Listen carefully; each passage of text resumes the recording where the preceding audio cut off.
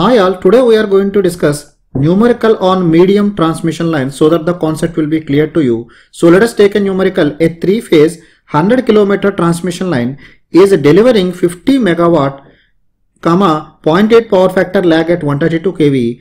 Each conductor is having a resistance of 0.1 ohms per kilometer and reactance of 0.3 ohms per kilometer and admittance is 3 into 10 to the power of minus 6 mho per kilometer. If the load is balanced and the leakage is neglected, calculate the sending end voltage, sending end power factor, efficiency and regulation of the line using nominal T method and nominal pi method. So let us try to note down what is given here. So it is given there that it is a three phase system having a length of 100 kilometers. So I am just noting down whatever is given. So after that the power is given, three phase power is given as 50 megawatt and the power factor at the receiving end is given as 0.8 power factor lagging and it is also given at it is delivering. Delivering means the receiving end voltage is given as 132 kV. Remember this this is three phase. So you have to divide with root 3 while making the calculations. So if you are dividing with root 3 this becomes 76.21 kV. So this is the value you get. So each conductor is having a resistance of 0.1 ohms per kilometer. So resistance is given as 0.1 ohms per kilometer. Total resistance will be that 0.1 multiplied by 100. So 0.1 multiplied by 100, this will become 10. And the value of the reactance is given as 0.3 ohms per kilometer. This if you multiply by 100, this becomes 30 ohms. And the value of Y is also given. Y is 3 into 10 to the power of minus 6 mho per kilometer. You have to multiply with the number of kilometers. So this becomes 300 into 10 to the power of minus 6 mhos. This is the value of admittance. So now we have to calculate the value of IR. So IR will be equal to total power P divided by 3 times of VR into cos phi R. This is what we can use. So this power P is equal to 50 into 10 to the power of 6 divided by 3 times of VR is 76.21 into 10 to the power of 3 into cos pi is given as 0.8. So if you substitute this, you will get your value as 273.36 amperes. So let us try to solve using different methods. So first one, I am starting with the nominal T method. So in the nominal T method, we have to represent in the form of a T. That means the impedance is divided into two parts. This will become Z by 2, Z by 2 and admittance is kept here. This is my sending end voltage, sending end current this is my receiving end voltage and this is my receiving end current. Okay? So this voltage i am representing by v dash and let us assume this current capacitor current that is passing through this is equal to ic so let us try to calculate these things so i can write my value of vs is equal to a times of vr plus b times of ir and the value of is is equal to c times of vr plus d times of ir okay you agree with me? Now you can calculate the value of a b c d. If you remember them you can directly substitute. Otherwise you can solve in your conventional procedure also. So let us solve using a b c d for nominal t method. For nominal pi method we solve in the conventional manner. So that both things will be clear to you. So a will be equal to 1 plus yz by 2 so this will be equal to if you calculate you will get the answer as 0.9955 plus j 1.5 into 10 to the power of minus 3 or this is nothing but 0.9955 at an angle of 0.086 degrees. So similar way you can calculate B is equal to Z into 1 plus YZ divided by 4. So this if you calculate you will get it as 31.552 at an angle of 71.608. So how to calculate this rectangular to polar form, polar to rectangular form, which one is good in which case I have discussed in the basic electrical engineering course you can go to my basic electrical engineering course. There I have discussed application of phasor algebra in solving series and parallel circuits. So you can please check that lecture. So there I have completely explained the phasor algebra how to apply. So you can please check from there. So now calculating the C is equal to Y. So this will become 3 into 10 to the power of minus 4 because it is J. So it will be 90 degrees. And we always know that D will be equal to A in transmission lines. So now I can calculate my value of ES. Vs is equal to A times of VR plus B times of IR. So I'm just substituting the values 0.9955 at an angle of 0.086 into 76.21 plus 31.552 at an angle of 71.608 this I have to multiply by 273.36 at an angle of minus 36.87 into 10 to the power of minus 3 so if you are calculating this this will come as 82.954 plus j 5.029 so this will be equal to 83.19 at an angle of 3.469 so this will be in kV per phase. If you want the line value, you have to just multiply this with root 3. Only that is the one we have to do. So IS, IS will be equal to C times of VR plus D times of IR. So I am just substituting the value of C. D is equal to A. So this will become 3 into 10 to the power of minus 4 at an angle of 90 degrees. So this is multiplied by 76.21 into 10 to the power of 3 plus 0.9955 at an angle of 086 this will be multiplied by 273.36 at an angle of minus 36.87 so this value will be 217.95 minus j 140.687 this will be equal to 259.41 at an angle of minus 32.84 degrees. This is what you obtain. So now let us calculate the sending end power factor. The sending end power factor will be the angle difference between the voltage and the current. So angle of the voltage we got as 3.469 this will become minus of minus 32.84 so this value will be 0.806 this way you have to calculate. So now coming to the regulation. We know at no load condition we have just derived in the last class the value of VR dash under no load condition will be equal to Vs into 1 by y divided by z by 2 plus 1 by y. So remember here all are the vectors so we have to divide them or otherwise simply this I can write as Vs divided by 1 plus yz by 2. So you have to take the magnitude of this if you want to calculate the magnitude.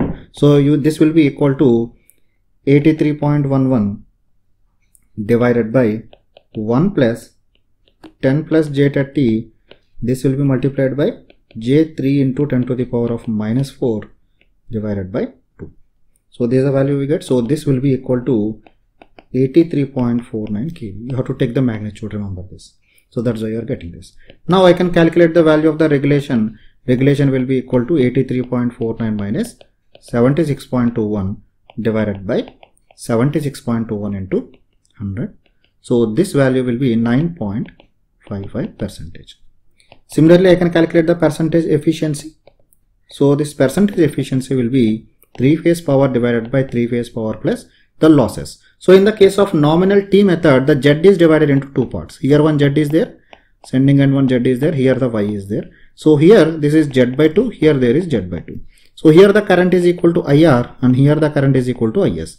That's why the resistances are half hour divided and the currents are different. So this will be equal to 3 times of R by 2 into IR square is passing at the receiving end, IS square is receiving at the sending end. So if you substitute this, this will be equal to 50 into 10 to the power of 6 divided by 50 into 10 to the power of 6 plus 3 into 273.36 whole square into 5 plus 3 into 259.14 whole square into 5 so this will be equal to 95.92 percentage so this is the value you get. So let us try to calculate for the case of nominal pi method. Nominal pi method. So for the nominal pi method let us try to calculate using the conventional procedure so that both things will be clear to you. In nominal pi method the z will be here. Let us take this current as i dash. So i kept my y by 2 here. Similarly i kept my y by 2 here. So this is my value of vs and this is my value of vr this is ir this is is and the current at the capacitor at the receiving end side will be icr this will be ics so now we are going to calculate the required things. So i am taking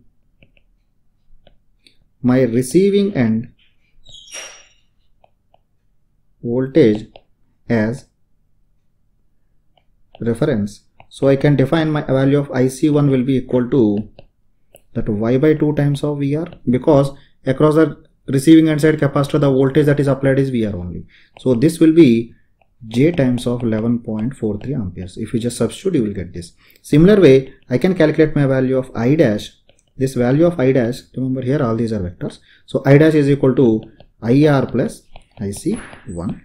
So this will be equal to 273.36 into 0.8 plus J 0.6 plus J 11.43. So if you sum them, this will become 218.688 plus J 152.586. So this value will be equal to 266.65 at an angle of minus 34.9 degrees. So similar way I can calculate my value of Vs. Vs is equal to Vr plus I dash into Z. So this will be equal to 76.21 plus 218.688 minus j 152.586 so this will be multiplied by 10 plus j 30 into 10 to the power of minus 3 so if you substitute this you will get it as 82.97 plus j 5.034 kV this will be equal to 83.13 at an angle of 3.476 this will be in kV per phase. In this way you have to calculate the sending end voltage. Now similar way I can calculate my value of IC2 that means the sending end capacitor what current is passing. Because sending end voltage is applied across this and the admittance I am multiplying.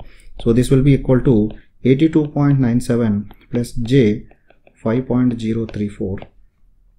So this I am multiply with J 1.5 into 10 to the power of minus 4 into 10 to the power of 3 because voltage is in kV. That's why the 10 to the power of 3 I have taken here. So this will become 0.755 plus J 12.446 amperes. That kV voltage I have converted to voltage. That's why I have multiplied with 10 to the power of 3. Please don't confuse here. So now sending end current I can calculate. The sending end current will be equal to this value of I dash plus value of IC2. So this will be equal to 218.688 minus J 152.586 plus 0.755 plus j 12.446 so this will come as 260.37 at an angle of minus 32.56 this is in amperes. So now I want to calculate my power factor sending end power factor. So sending end power factor will be cos of the angle between voltage and the current. For the voltage we got the angle as 3.472 minus of minus 32.56. so if you substitute you will get as 0.809 this is lagging. So this is what we got. So now coming to the regulation. So i have to calculate at no load condition. So we can calculate my receiving end voltage.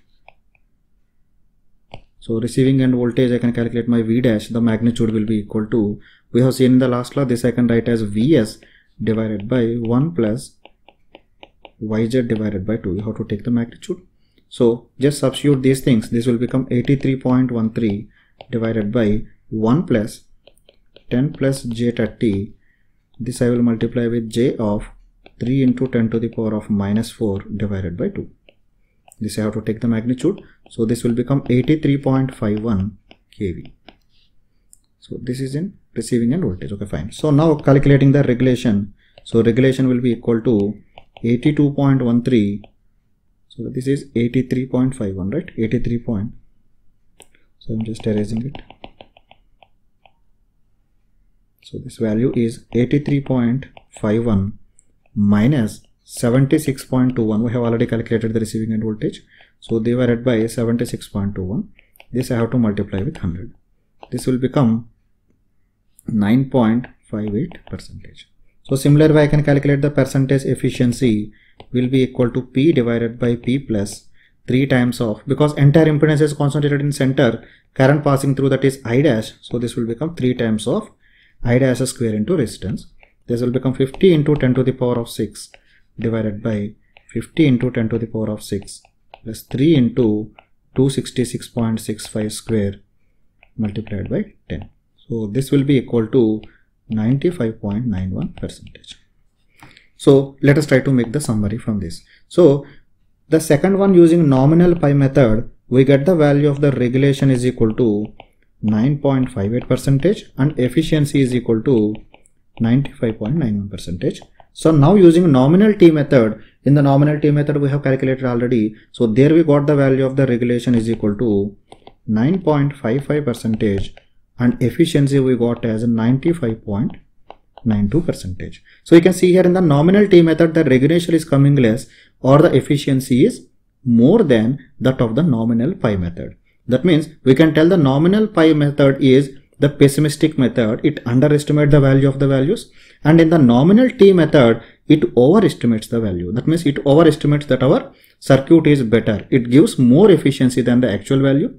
Nominal pi method gives a little bit less than the nominal value. So practically it is observed that the value of nominal pi method whatever it gives, it will approach very near to the practical value. That's why you might have seen practically mostly they use a nominal pi method in practice. I hope the medium transmission line and its how to solve the numericals are clear to you. If you still have any queries, you can leave your comments in the comment section below. I will answer to your queries from there. Thank you. Thank you very much.